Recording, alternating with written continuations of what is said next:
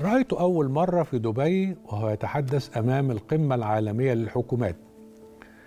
لم أكن قد سمعت عنه من قبل. لذلك تعجبت من امتلاء القاعة إلى حد لا يمكن تخيله. كان يتحدث ببساطة عن وجود كائنات فضائية تعيش بيننا. تأملت ملامحه بدقة. بدا لي وكأنه واحد من تلك الكائنات الفضائية المتحمس للتعرف عليها. لكنه في الحقيقة واحد من شخصيات قليلة قادرة على تغيير البشرية أو على الأقل توقف تراجع البشرية إلى الوراء الجملة ليست لنا الجملة للكيمائي الروسي المثقف إسحاق عازيموف الذي يعتبر ماسك مثلا أعلى Do you think there is other intelligent life outside the Earth?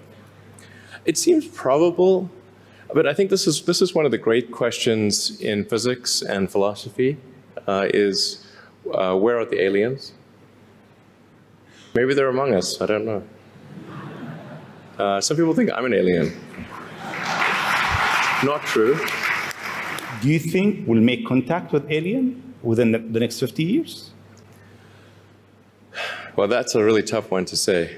Um, I mean, if there are super intelligent aliens out there, they're probably already observing us.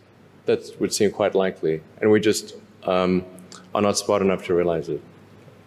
Um, but I can do some some back of the envelope calculations, and um, any advanced alien civilization that that was at all interested in populating the galaxy, um, even without uh, without exceeding the speed of light, even if you're only moving at say 10 or 20 percent of the speed of light, um, you could uh, populate the entire galaxy in let's say 10 million years, maybe 20 million years max.